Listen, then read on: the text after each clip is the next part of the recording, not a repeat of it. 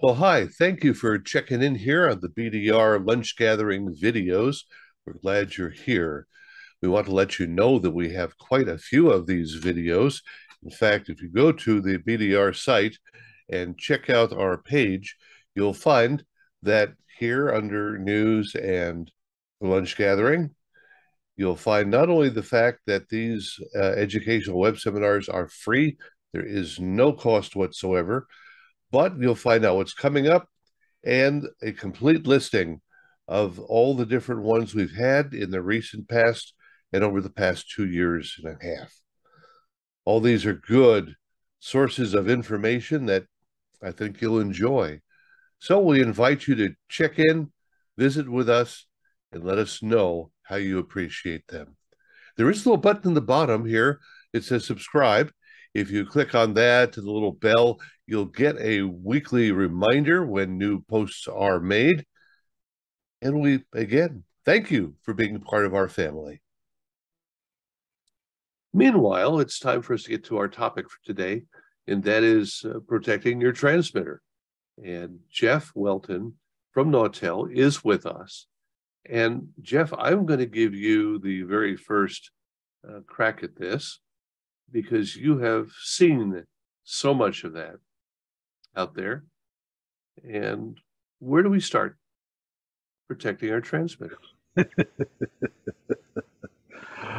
I could have too much fun with this one. Um, I, have got a side deck on my other screen just to keep me reminded of stuff, but uh, unless somebody insists, I usually don't bother putting them up here. Um, actually, I am going to. Do you have sharing enabled, Barry? I do. I'm going to just throw that monitor up so I can show that one. Um, just real briefly, because I've got what I call the trifecta of getting the most out of any piece of electronic equipment. And this one is the thing that I see done wrong probably the most. I mean, there's a lot of different ways, I guess, I don't know, opinions, but about grounding and everything else. But uh, airflow is the thing that I tend to see that could typically be, and I don't care whether it's air conditioned or uh, or forced air, but I, I, run into a lot where let's see, let's uh, just crack this into the slideshows because I, like a fool, I put animations on which I usually try to avoid. But um, what we run into a lot is this, where you'll have the cool air, whether it's air conditioned or just forced air with a fan blasting past the air intake at 100 miles an hour, and you actually end up pulling more air away from the transmitter than you run through it. And I had one situation, actually not too terribly far away from you, Barry, um, just up the road, probably about 100 miles or so, where um, I walked in and I looked at that, and transmitter was hotter than stink, and they were moving a massive amount of air and I found an old hollow core door, like a, just an in, or a, inside a room door or something that was just leaning against the wall. Leaned it against the side of the transmitter to make a baffle to force the air to go through it. I bet you 10, 10 years later, it's probably still there. But uh, dropped the ambient or the uh, operating temperature of the transmitter by somewhere between 15 and 20 degrees Fahrenheit in the space of about 10 minutes. Amazing how much difference it makes when you run the air through the gear, not around it. And I mean, I see Grady down there, and I know he and I have had lots of discussions on air handling over the years. Um, you know, and, and, David, of course, it, uh, this is like romper room, right? It's like I see David, and I see Grady, and I see Jim, and then I see you too. Um, but yeah, I mean, that is arguably one of the biggest because we'll, uh, I mean, all you got to do is force the air through the box. The other thing is uh, Bard air conditioners. How many people have one that uh, want to admit to it? I mean, they're a good air conditioner. They're a great air conditioner, but they're designed for offices and they shoot the cool air out up high and let it settle down and it cools things wonderfully. Except that transmitters typically have the cool air intake down low and the hot air exhaust up high. So you end up pulling the air away from the transmitter, not dump, again diving into it. So in that one, usually what I say is get a sheet metal guy for a couple of thousand bucks. You can throw some, oops, throw some sheet metal in there, and uh, make it, you know, just redirect the air. That that can be a huge one.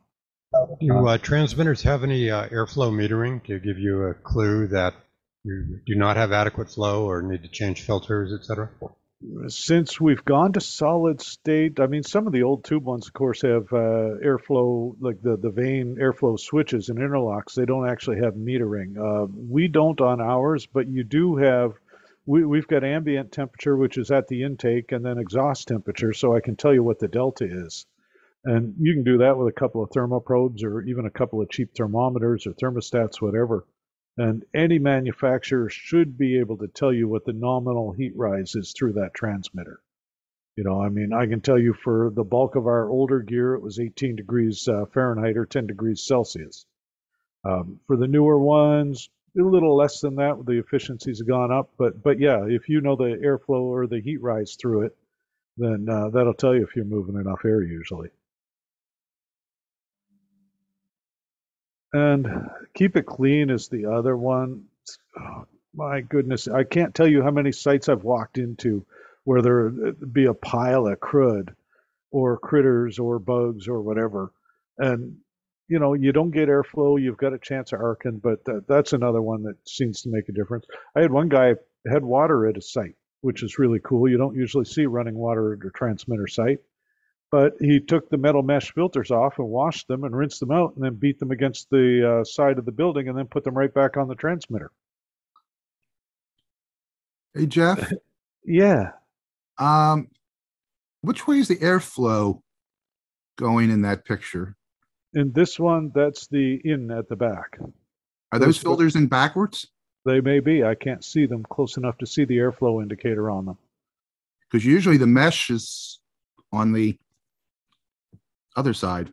Well, these have a. I can't see the. There, there's usually a steel mesh, a steel wire mesh on these ones, mm.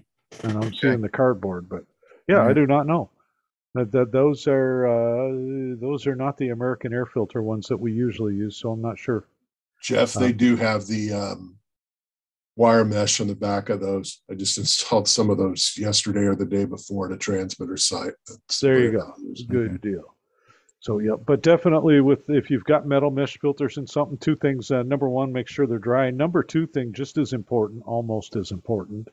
Uh, metal mesh filters have are, are really porous. Uh, you need to use the filter coat, the sticky stuff on them, or they're not going to be effective.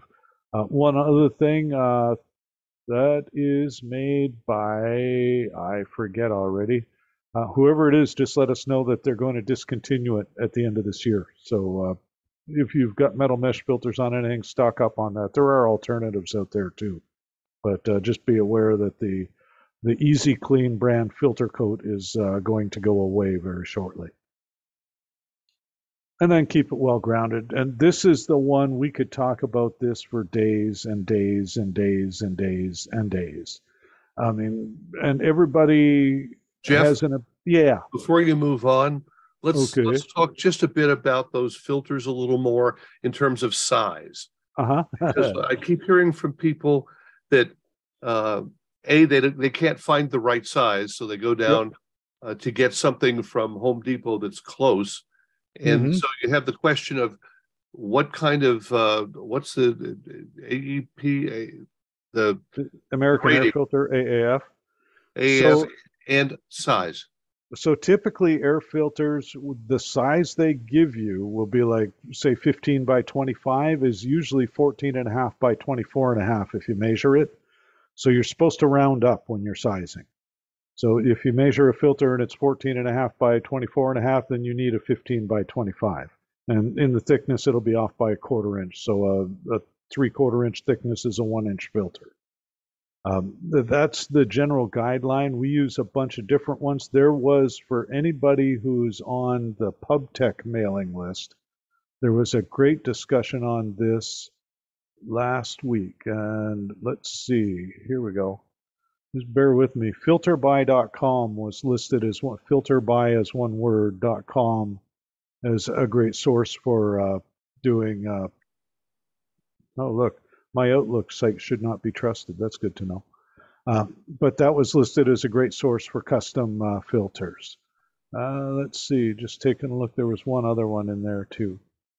Um, yeah, because no, and that was Clay Freinwald. Whoever we bought them from originally was uh, gone. So filter by, filter by. Um, Then the other thing, like I say, sometimes you can also go up the half an inch and still cram them in there. So like if you measure 14 and a half or down the half an inch, so if you got 14 and a half by 24 and a half, instead of going 15 by 25, go 14 by 24, and you might be able to shove them in there too. So, but take that one under advisement. Definitely measure the uh, bracket for the specific one you've got. And the MERV rating? MERV rating for ours is all MERV 8, everything we do. And discountfilters.com was the other one that does uh, custom ones. Hey, Jeff, Yes. since I'm an ignorant person and I've often wondered this, what does MERV mean? That's a billion dollar question. It I was don't know Merv either. Griffin, but that's, he's no longer around. It's got to do with the amount of airflow through it, uh, the particulate uh, filtration. But let's just take a look here. This is what I like Google for because Google will tell me this stuff when I sure didn't know it. Next, Uh, expected. And Home Depot has their own, which is kind of confusing as hell. hmm So reports uh, filters ability to capture larger particles between 0.3 and 0.10 microns. It, it means. Minimum minimum- efficiency reporting value is what MERV stands for. Yes. So yeah, if it uh, and and it's looking at the three to ten microns. So if you got a MERV one to four, less than twenty percent, uh, MERV five. So it's not even a linear number. So MERV eight, for example, means that from one micron to three microns, less than or equal to twenty percent will be stopped, and uh, three to ten microns, uh, seventy percent. And I have had people in the past because they were in a dirty site go to a higher dent or a higher uh, rating like a MERV 13 and you will starve because you are reducing airflow with that. You you've got uh, less porousness if that's a word it is now. So yeah definitely keep that in mind as well. All right. There you got to see all my emails too. I'm not sure if i had any good orders on there but i don't think i was talking bad about anybody today today so that's the other one. And like I say, um, there was on that uh, pub tech list uh, filters by, and uh, the other one I wrote. I should have been paying Someone's mentioned Furnace Filters Canada.com. Yep, from Brian. Thanks, Brian. And uh, Ken's got the MERV rating. Cool. Excellent. And so Ken mentions in the in a direct message, and we'll we'll do this. Uh, I'll hit this on the grounding. So Ken mentions uh, for keeping stuff living longer, get it off of Delta Power, and I'm going to caveat that a lot. Um, open Delta, two transformer Open Delta, worst thing you can connect anything electrical to.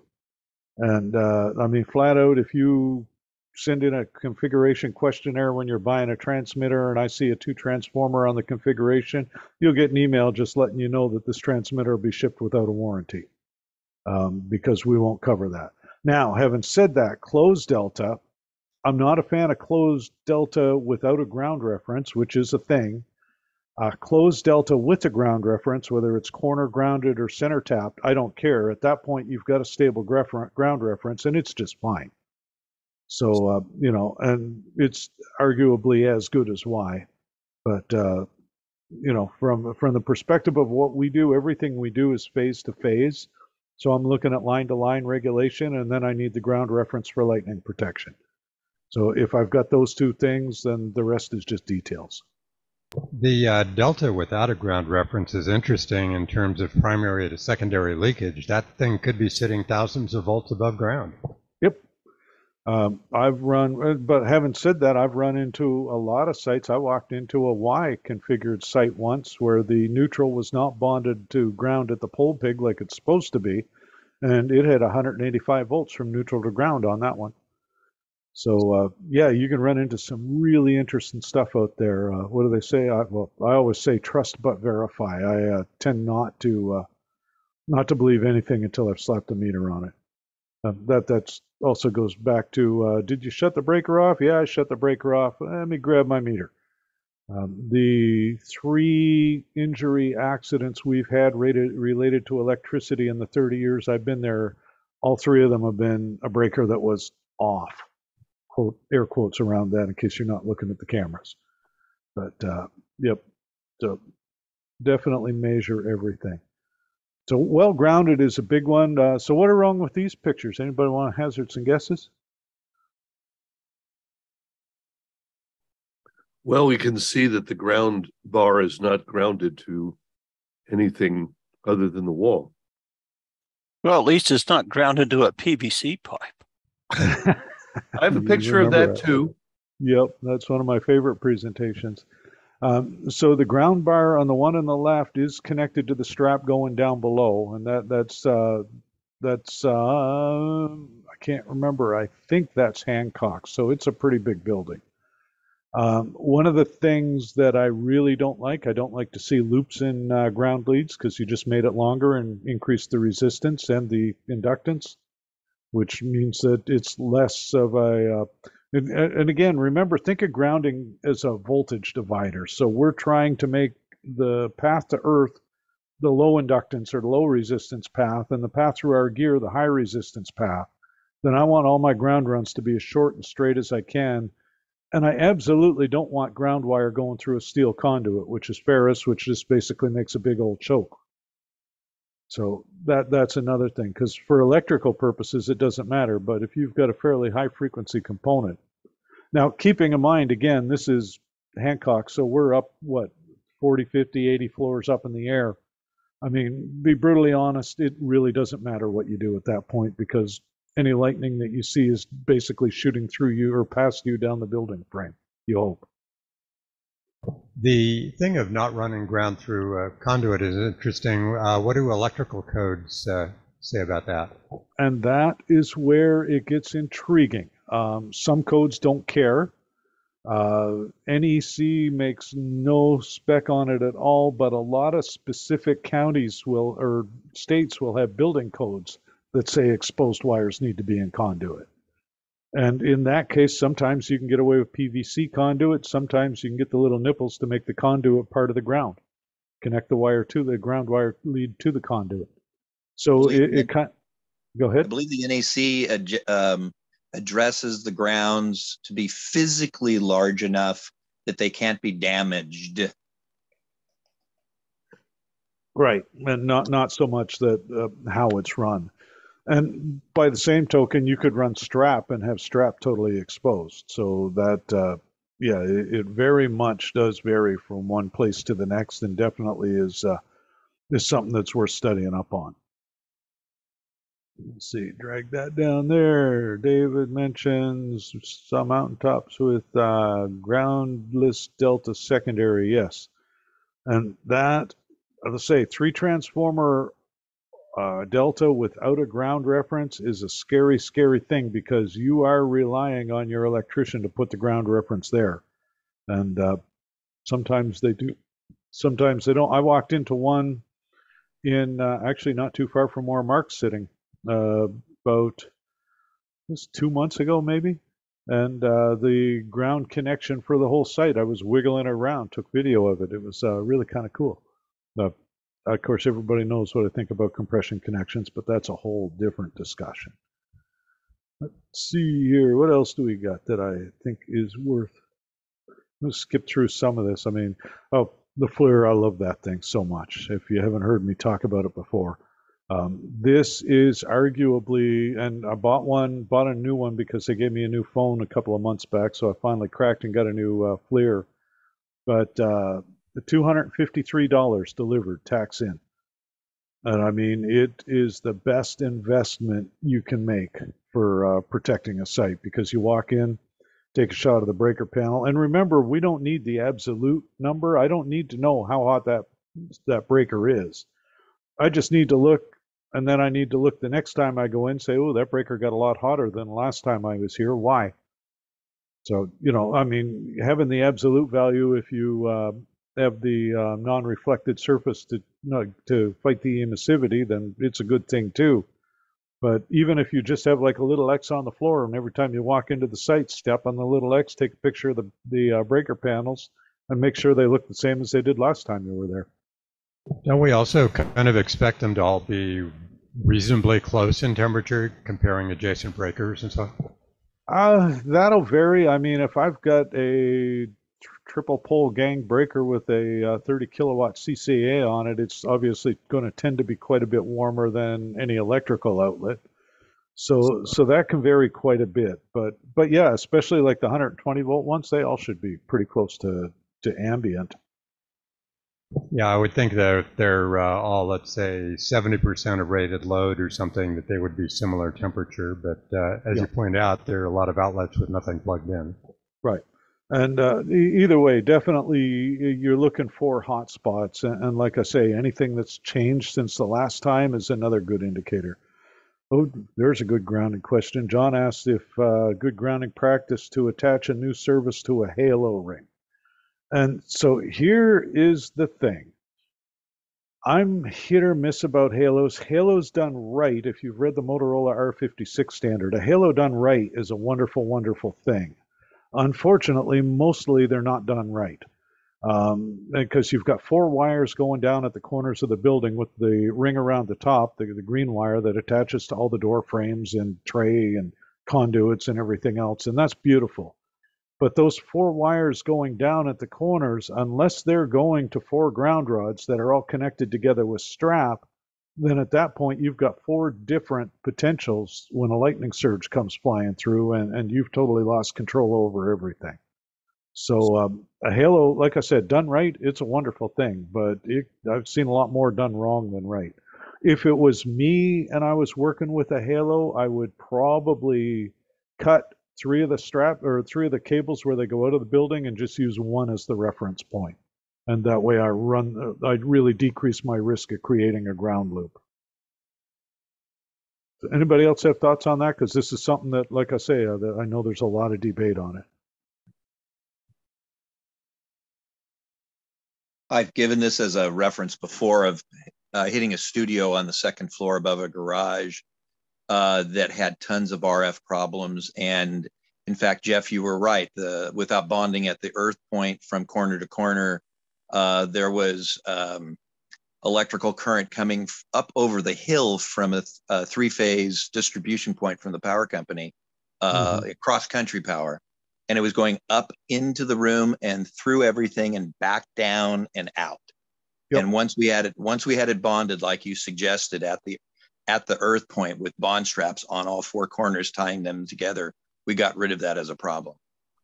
And so that that's like I say, when it, when they're properly tied together, a halo ground is a wonderful thing, and I mean it, it gives you an easy way to connect pretty much everything in the room.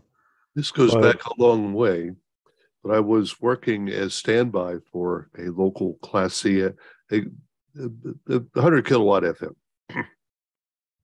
And I went in there one night and I was walking around observing the transmitter. And I noticed the uh, bottom of the transmitter, four inch strap came out the bottom of the transmitter and went across the floor and went under a door. I think you know where I'm heading I opened the door and the strap ended. And Yep. there was a sign on the door that said, caution, ground potential present. I got to watch that ground potential. That's dangerous stuff. Uh, what else we got up here? Oh, yeah, thanks, for thanks for that. I was the one who asked the Halo question. And the, and this, uh, they, our electrician who came out to visit the site, he has not installed the panel yet, but he was going to attach to that Halo. So what should I tell him to do? Just put in the ground rod outside? Should I have him bond it to the Halo? Should I ignore the Halo completely or what? So I wouldn't I wouldn't have an issue with doing the halo. Um, the other thing to keep in mind, he still needs the ground rod outside anyway. I mean, that's just part of your local code. Will will say that any ground any panel needs a ground. That needs to be bonded to your facility ground. And like I said, if your halos each go to a rod outside and they're they're tied together in a circle, make sure that the AC ground's tied to it. Um, if he resists that, Article 250.4 of the NEC was changed in about 2010 to specify that facility ground and electrical ground must be bonded together. So that that's something that's fairly new. Now, going to quantify that because different states follow different renditions of the NEC, and some, like Mississippi, don't follow the NEC at all. They rely on state electrical code. So it your mileage may vary there, sort of like with uh, what we were talking about earlier with the uh, electrical and other things. But uh, but definitely, I much much prefer to have everything tied together, and if I can get it tied together at one point, it makes life a whole lot easier. So tell them that in addition to the outdoor ground rod, go ahead and bond it to the halo, but don't rely on the halo exclusive. If he, I mean, the outdoor ground rod's my first preference. If he's tied to the halo, great. I mean, this is relatively speaking, we're talking. Uh, usually they use like a six gauge wire or smaller, which is practically useless in terms of lightning protection. So, I mean, you know, if he does put it there, it won't hurt anything.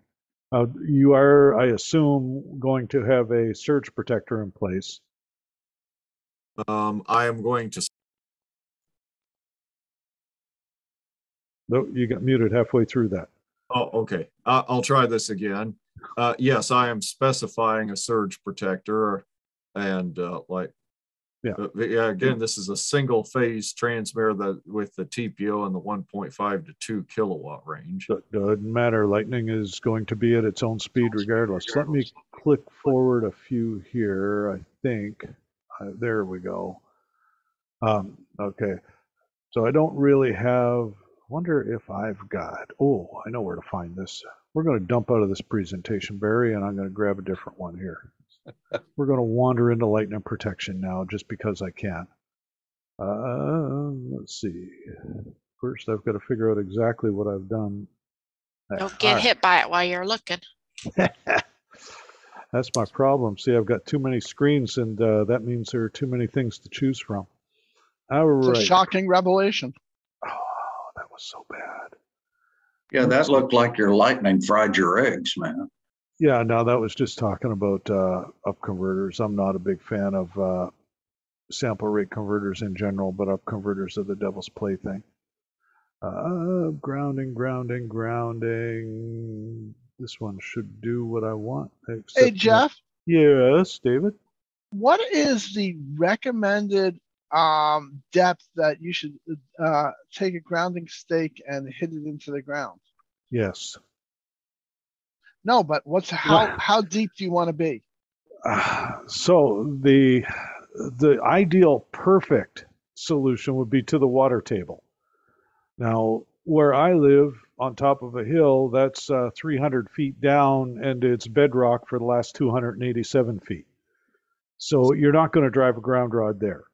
Um, you know, you might uh, sink a well, in which case you're you're good to go. But uh, the ground rod, ideally, I mean, eight, eight foot rods, and put them double their length apart because otherwise you're just wasting time and money.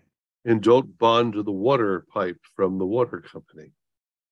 And uh, make sure that the water pipe is actually uh, not PVC. Yeah. Now, when when I first started, I was always told you want a cold water ground, especially in Manhattan where we're in huge buildings. You're Yep. telling me that's not what I should be doing anymore.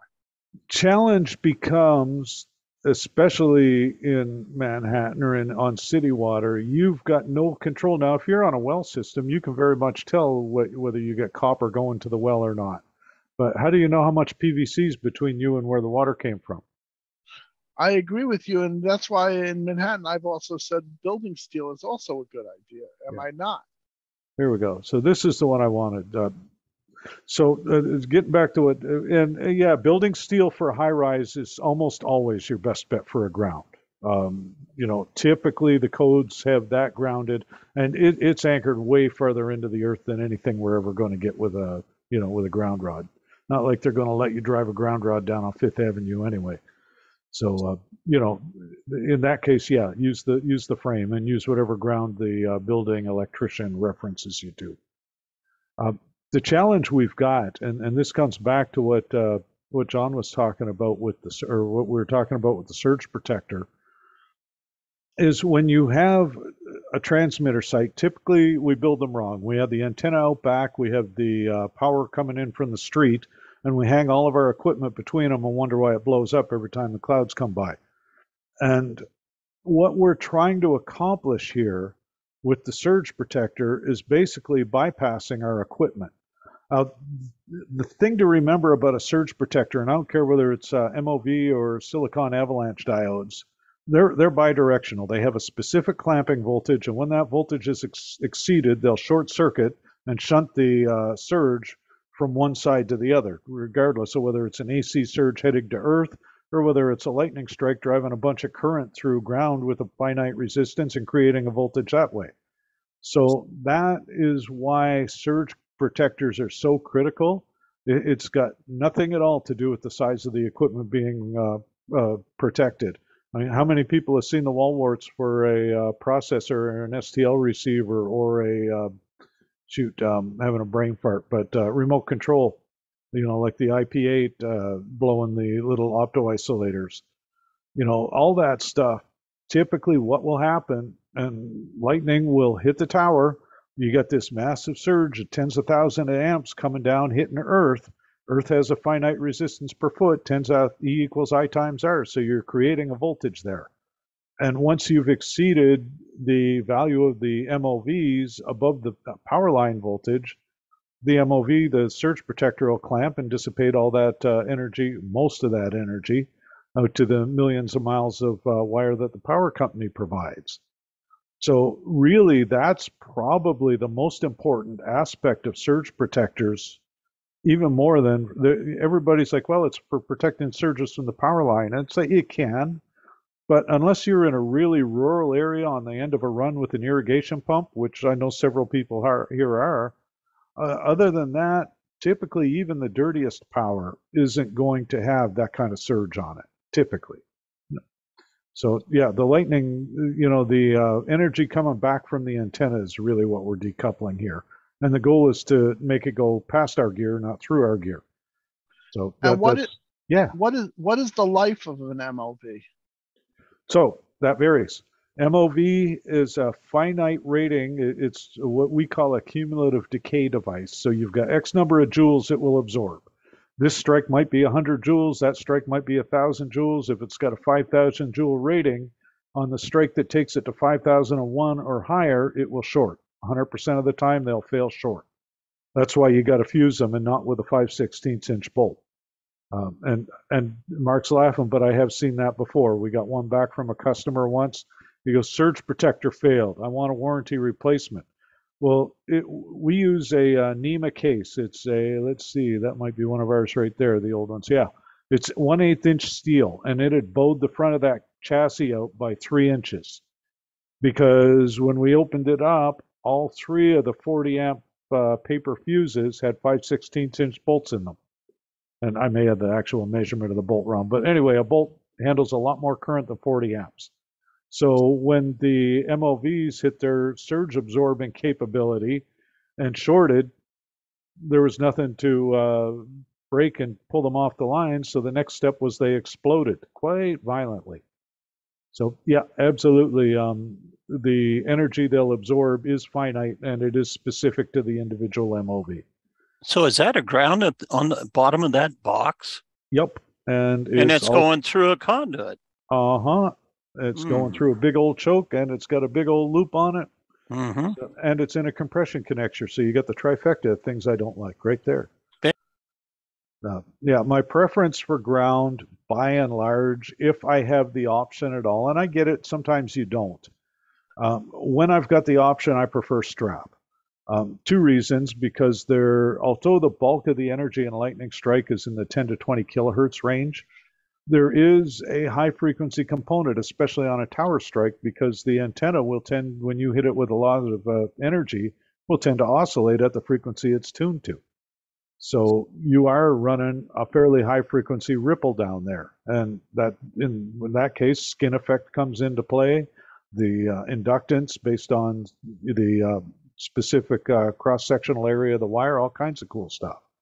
So yeah, I like strap and a four inch copper strap, or sorry, a two inch copper strap has more surface area than a four aught cable.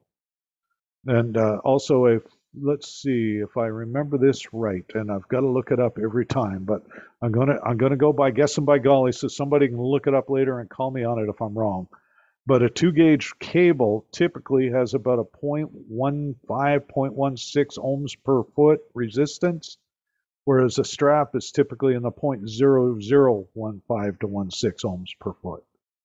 So um, that's the other reason. Again, voltage divider theory. So if something's got one one hundredth of the resistance for any given length, I'd prefer to use that. Any other thoughts, comments? Not sure what else do I have in here that looks intriguing. Yeah, I mean, this one is the big one because I say this is the gold standard of what we're trying to get to. And I've got an AM site shown here, but AM, FM, TV cell doesn't matter. The, the concept doesn't change. Um, let's see, we've got the coax on the right, the AC line on the left. Uh, we reference everything to the surge protector, and that is our, our reference point, our ground for the facility.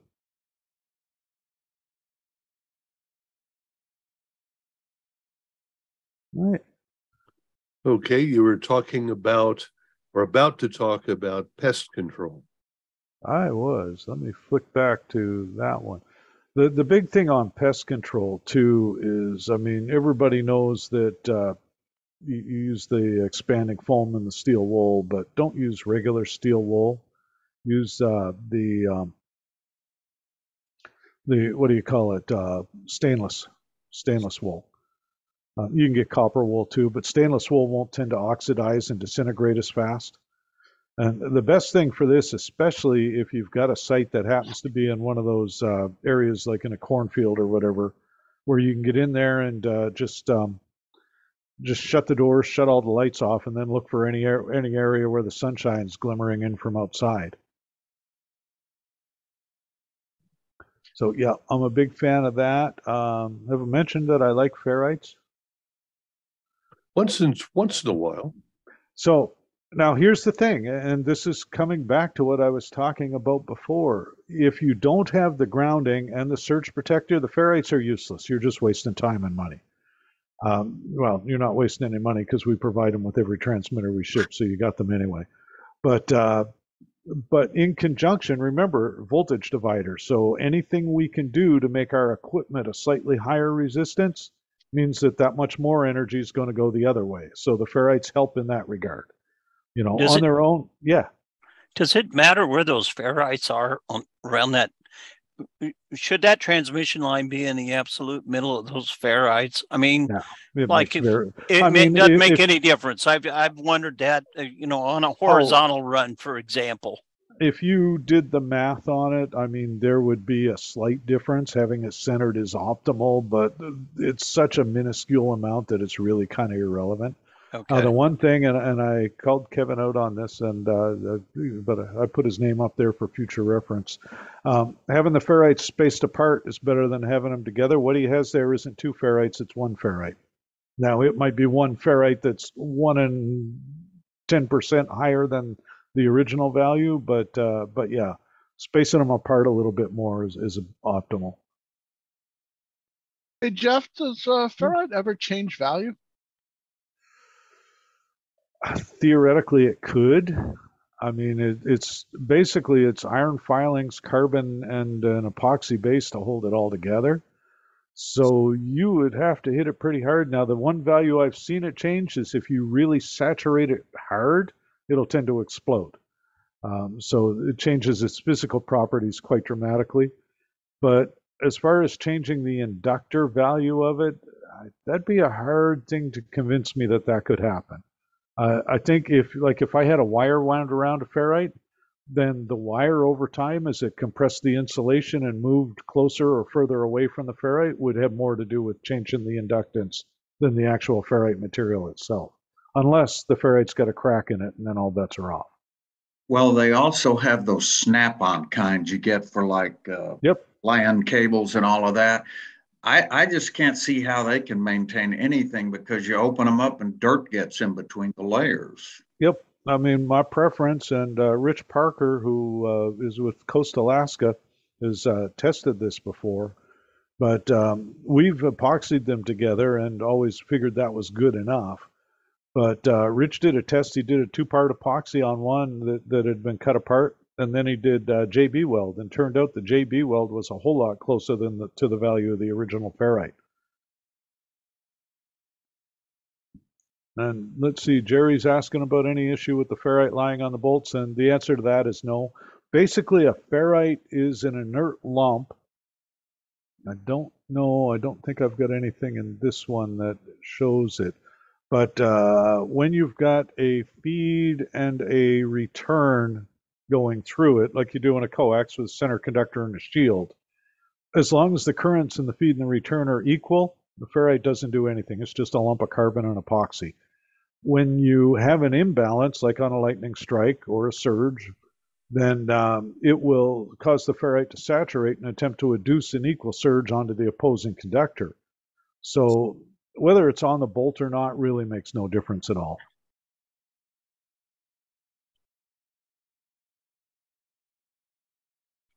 Are there any are there any uh, chemicals that eat up ferrite? Like if someone spills coke on it or something, does it eat up the uh, the composition or anything? I mean, again, it's iron filings and uh, epoxy and carbon. So yeah, theoretically there could be. I wouldn't want to hit it with sulfuric acid. If you had I, somebody sitting on your transmitter with a coke, you got to get them off. this is New York City. all all kinds of things happen. No, no. In New York City, the transmitter sits on top of your staff.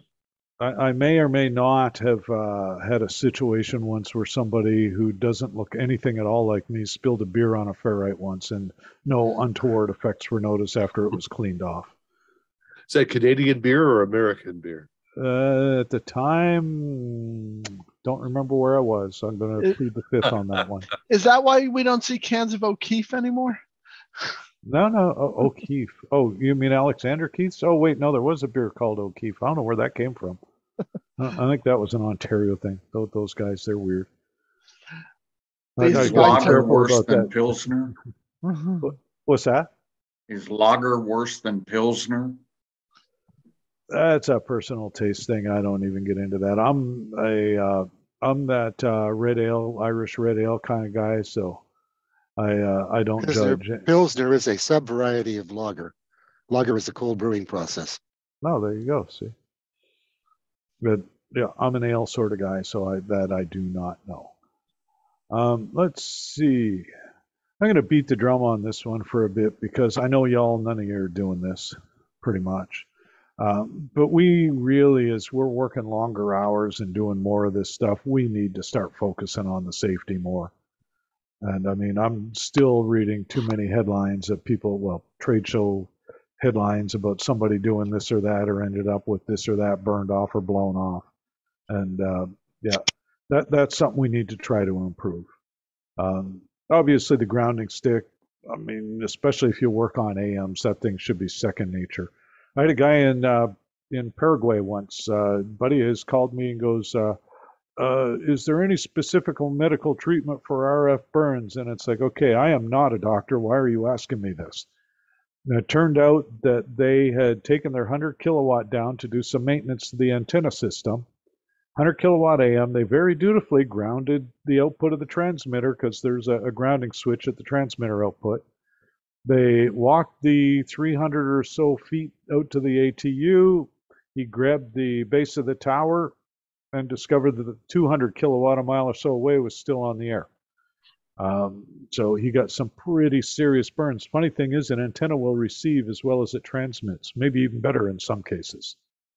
So uh, definitely that uh, that's something else. Like just uh, again, like I said earlier, trust but verify. I uh, I'm a big fan and grounding everything. Um, BGS a bunch of years ago was giving out the little uh, proximity uh, volt alerts. I was just looking around. I think I've got one here on my desk somewhere, but I can't see it right off. I've got so much stuff. Uh, I, I collect all the swag at all the shows and then just come back and show it to our marketing guys and say, hey, yeah, we should do this. But I still um, have I still have a dozen or so from uh, Days of Radio Guy. Yeah uh, Radio Resources was doing this cool thing at uh, in Columbus. He had, or not Columbus, in uh, Kansas. He had these little uh, pocket toolkits with like multi-purpose screwdrivers and jeweler screwdriver and a uh, little exacto knife and tape measure. So that was kind of cool. I don't know how often we use a tape measure, but every now and again. If somebody would like one, they send me some postage. I'll send them one. Now, hey Jeff. There you go. Yeah those lockouts do a lot of good with the keys left in them. Yeah. So this one, rest his soul, that picture came from uh, Mike uh, McCarthy in Chicago.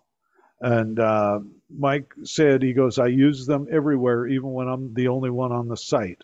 He goes, I figure if I'm the only one on the site, I can leave the keys in there.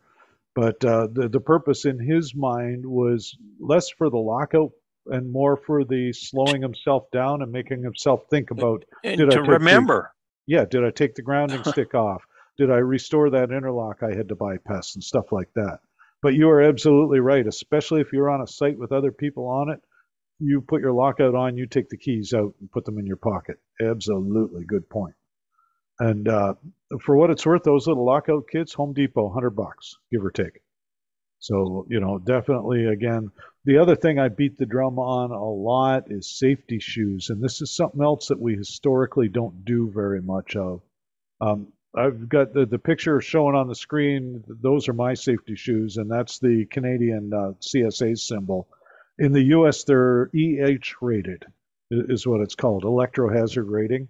Basically, it means that 18,000 uh, volts across the sole won't pass more than a milliamp. Now, a milliamp will still mess you up, but it'll keep you alive if you get across a, uh, a plate blocker or something in a tube socket. Um, I know it will, from experience, that it will save you from a nasty RF burn on a navigational beacon on an oil rig in the Persian Gulf. Not that I was there in person for that, but I was. Um, so yeah, uh, those are something else that I really, really uh, beat the drum on a lot. Uh, there was something else that caught my eye as I was scrolling through this. I say there's so many things, and I mean, oh, this one. Oh my God, people, why do I still have to have this conversation? So let's just open a web browser here. Is the browser showing? Because I think I just shared the monitor. Not yep, the... you got you got the browser. All right, so you get to see my Facebook for a moment. Cool. So let's go to my favorite Internet of Things search engine. Whenever you grow up. Yeah, if I ever grow up. I'm in radio. There will be no growing up. Uh, uh, and let's pick, say, Barix. I should not be seeing nearly 1,500 Barix units when I go looking on the internet. Now, so the, the general rule of thumb, as I understand it, is it's okay to do this and look at it. It's not okay to try to log into it.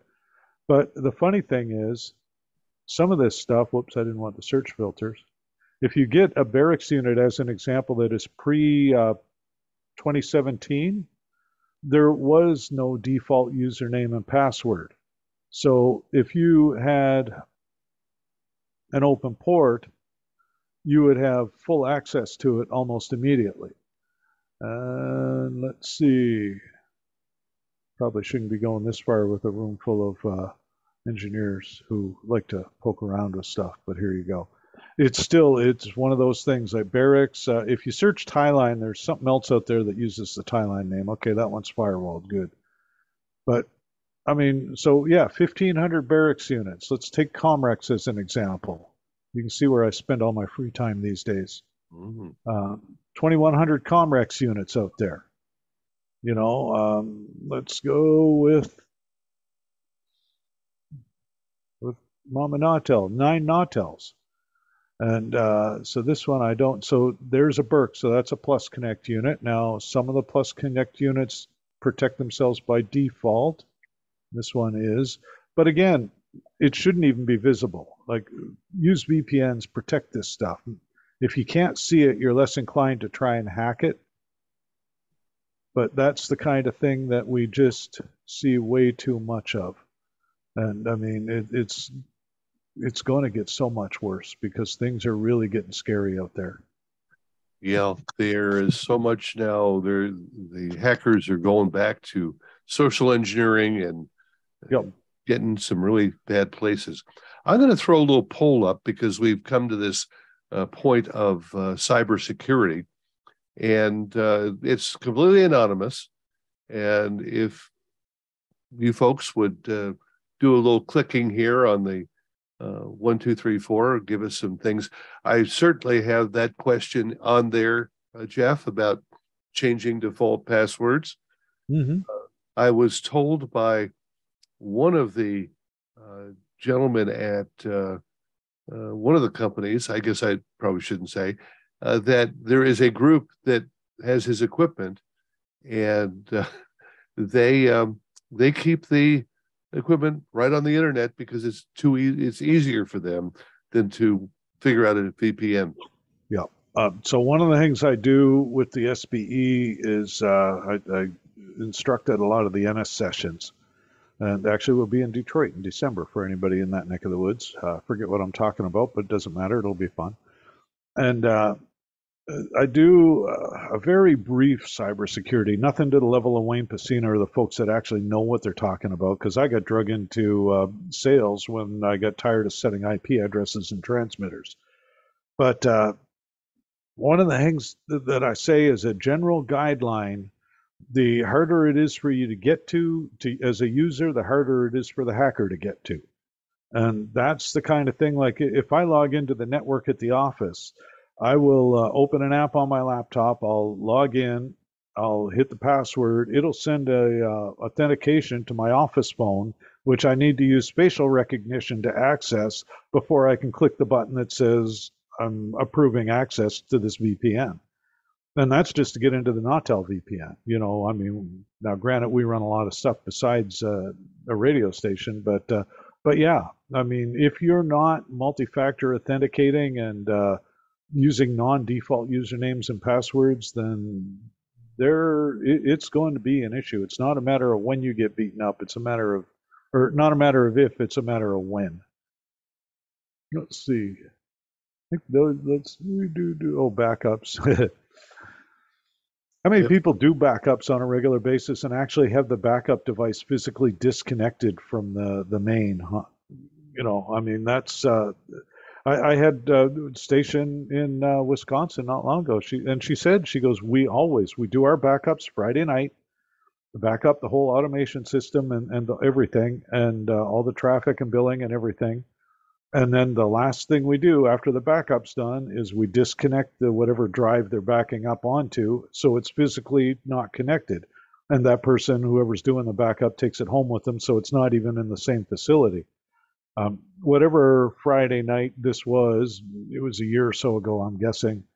But uh, the the person who was doing the backup had a dinner dinner engagement, and the backup was taking a little longer. So they said, "Well, I'll just leave it and I'll pick it up Monday morning." And guess what happened over the weekend? $50,000 worth of ransomware for a little unrated market uh, singleton station. 50 grand's a big chunk of change.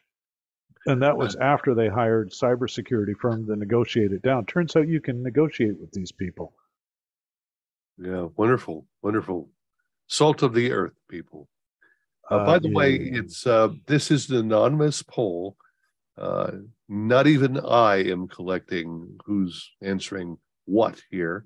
We have about uh, uh, 60% of uh, respondents so far. And Jeff, you're going to find a couple of these answers interesting. I but, haven't even seen the poll, but I'm not sure where I should be looking. I got more screens going right now than I got brain cells, like I said. Uh, probably should be on their video of the Zoom. Oh yeah, and see, I'm presenting, so I don't see that. Let's kill. Oh, that's right. For a moment. Let's well, stop share. There we go. There you go.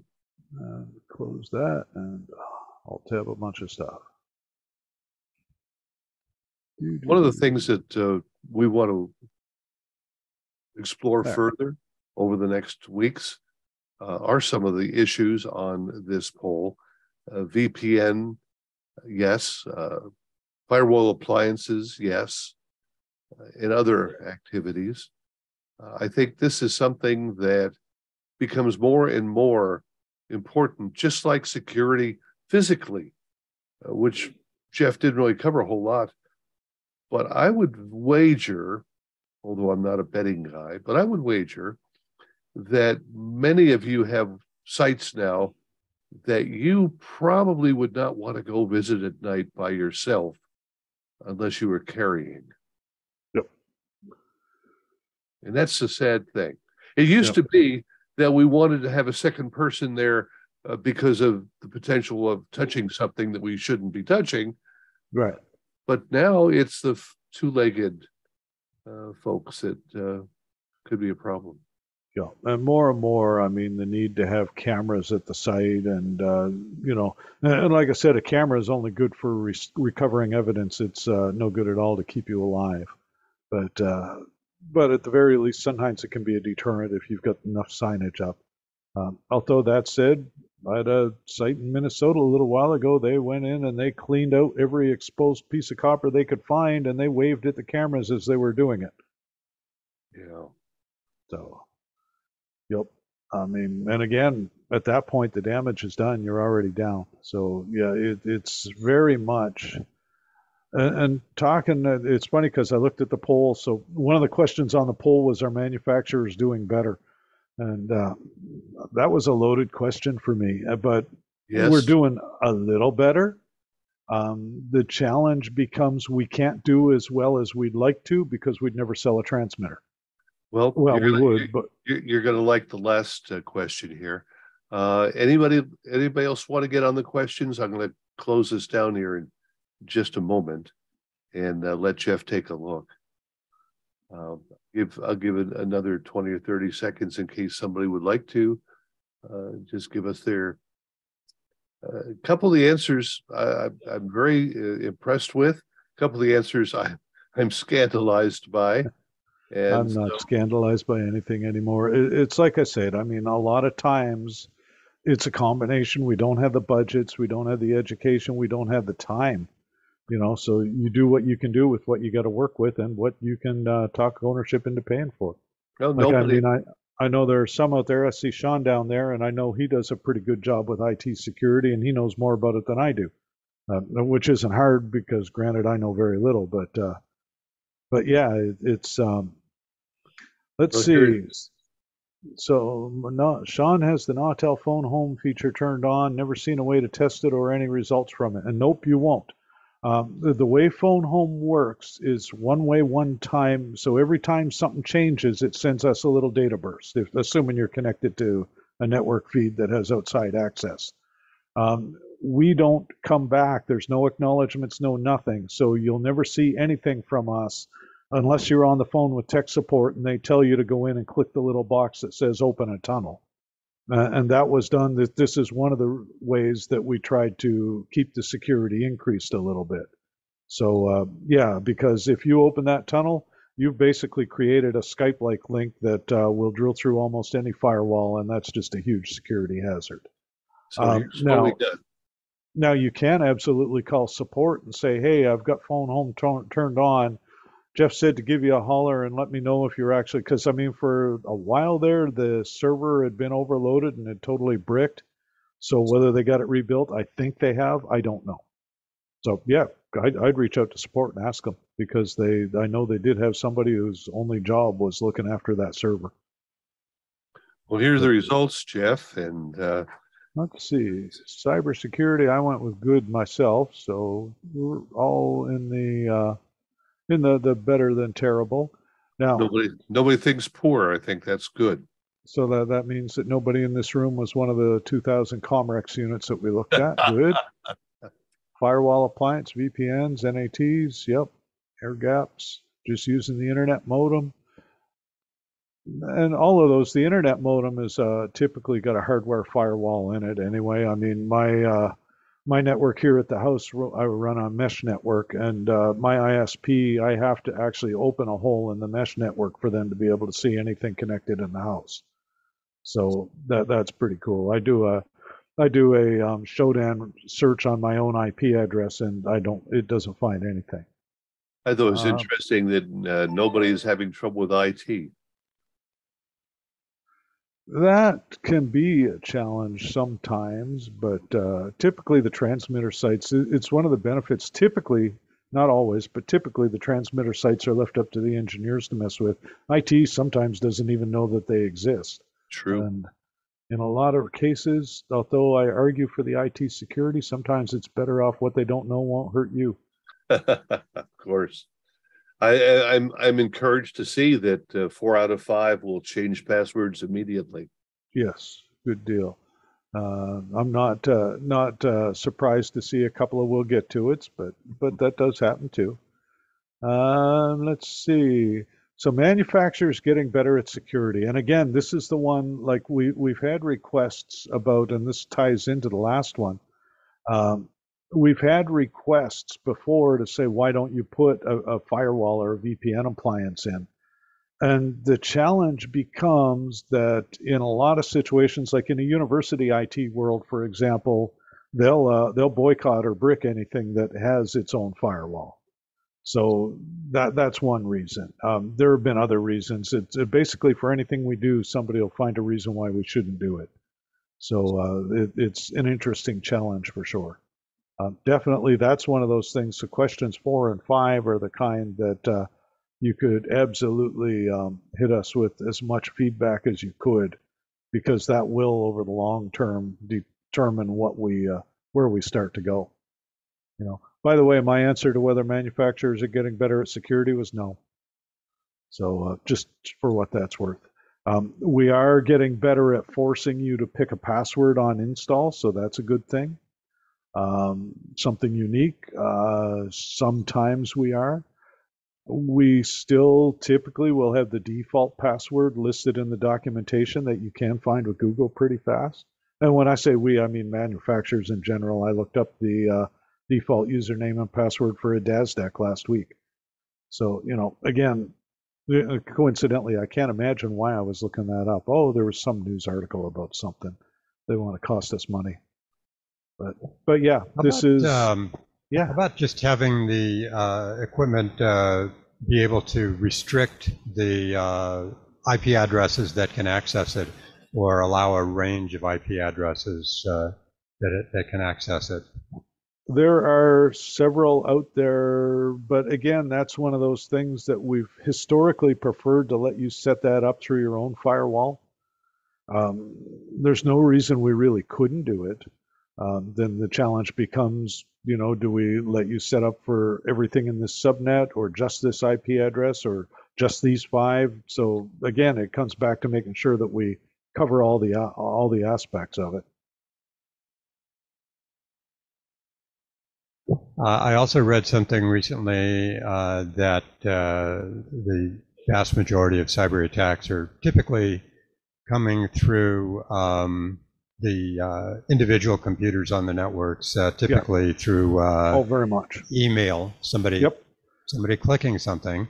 Several so, times a day, I get a thing saying, "Oh, your your mail is too full. Click here to expand your mailbox." Social engineering by far is uh, yeah click this link or or uh, a secretary will get an email that say your invoice is attached so she'll just automatically click it to pay the bill and uh, yeah yeah that is by far the hugest. I'm going to i think i've got it over in my bookcase so just bear with me a second or two. I'm just going to mute and wander away for a second. I'll be right back. All right well we appreciate that. While Jeff's uh, running away, I'll uh, kind of ask a question here. If you can help us by recommending our gathering to a colleague, one of the problems I'm having uh, is that as the number of engineers, uh, the attrition rate because of you know passing away or layoffs and things, uh, we're not reaching the kids as well as we'd like to. I say kids, that's you know that that's accurate though, because I mean, how many of us got into this job as grown-ups? Well, uh, like we said earlier, I just uh, chose not to grow up. There you go. But yeah, and I mean, term of endearment. Term of endearment. Uh, we appreciate the young ones. We appreciate uh, bringing them in, and uh, I think, as I, I may have said earlier, my plan on Thanksgiving Day is to go back to that topic of finding and training uh, new ones. And so please, uh, if you know somebody in your area, in your SBE chapter, uh, in your own station that would benefit from our newsletter or our gatherings, please turn them on to us. So, what I got up to get, if you've got any interest in cy- cybersecurity at all, this book will make you want to move to a cabin in the wilderness and not ever come out at all. So anybody who can see it, it's called uh, "Click Here to Kill Everybody" by Bruce Schneier. and it uh, it talks about IoT and how uh, how we are really, really, really hanging our stuff up there. It's also constant, a. Uh, it's uh, there's constant, a. Uh, it's the constant fight between uh, people trying to be secure and the net gods that want anonymity because they like to to poke around and yep. do things. Right, and the all it, it's the same old same old. Like I said to begin with, the more secure you are, the harder it is as a user to access your stuff. So you know, by the only infinitely, the only totally secure system is one that's not connected to a network anywhere ever. Um, Harold, you were going to say something too. Uh, there's a, a, newsletter and I think a website called Dark Reading that's just uh, all about uh, security, and I get daily emails from them. Yep. I mean, it, it's just amazing, like the the industry that's grown out of this. And, and I say that book, I picked that up in an airport somewhere. I'm reading it on the plane. I'm here to tell you, click here to kill everybody is a title guaranteed to get you some raised eyebrows on an airplane. But uh, but yeah, I mean it. Uh, it's it, it's really frightening, and I mean I'm probably relative to this area one of the more connected households around here. I mean there's probably 40 or 50 devices in the house connected to the internet at any given time, including my refrigerator. you need more milk. Not quite that, but if I am in Columbia, Mississippi, I can look at my app, phone app or I can get a notification to say, hey, somebody left the fridge door open. Well, I look I look for someday, you know, for the internet to actually go down.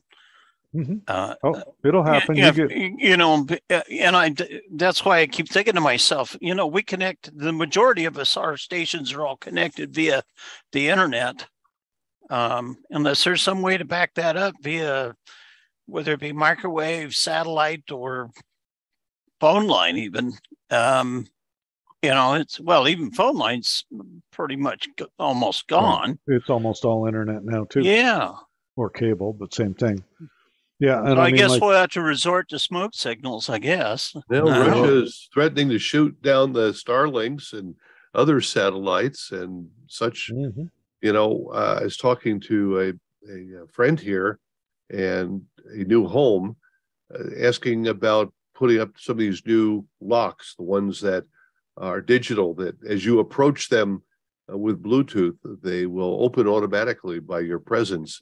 Yeah. And he's um, he's Terrible a little shy at that. He, Terrible he, idea. Yep if the internet goes down, you're locked out of your house, or or worse. Or or you walk up to your house, the bad guy comes up and shoves you into the door, and now the door's unlocked. So now you're in the house with the bad guy. There you go. So yeah, we've been watching the uh, TV series uh, Homeland, and uh, people got into the uh, embassy by holding up the head of the dead guy to to the facial recognition lock. Yeah. Or cut the yeah. enemy's thumb off and use it for the uh, the thumb the the fingerprint reader. right. That guy at NCIS took an eye and used it for a retinal scan. Right. The uh, the denial of service uh, attacks and uh, machines that have been uh, compromised. It's it's real easy to you know yep. aim a million machines at some IP address and pretty well kill it. Don't need a million, but yep, yep, that's not hard to do at all. Well, we don't need that. We all we need is Mother Nature. Mary sent us this picture. You want to tell us why?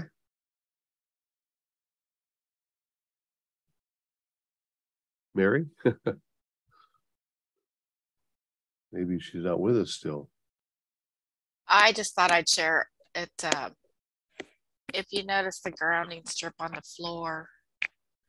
That's that's what sparked me to tell my little story.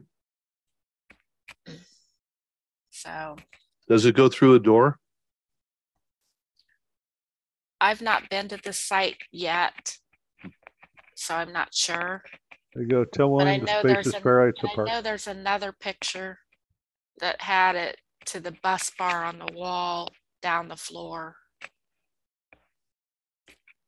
Yeah, so I I'll think to, this is a continuation of that one. I'll have to make it a point to wander down there and visit him someday too. Like the transmitters. Well, of course I do. I'm somewhat well, biased. No, I like the transmitters. yeah, that's a relatively new install, less than two weeks ago. I can tell the paperwork's still taped to the transmitter. Yeah. So site's not totally cleaned up, but mostly cleaned up. Mm-hmm. The copper's all still copper color. exactly. So now here's something funny. Don Jones, back in in the day when he was doing installs down in Texas, every time he went in, the last thing he did was take Scotch-Brite, go through, burnish all the fingerprints on the off of the copper, off the hard line, and then spray seal it with a clear uh, clear sealer.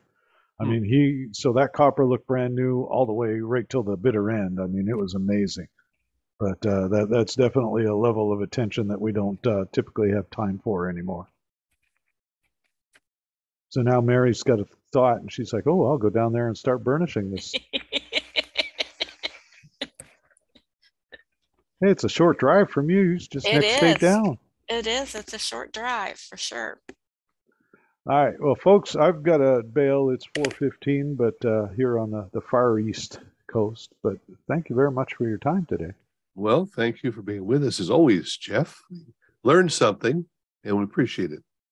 Well, cool. Awesome. We'll see you next time. Okay.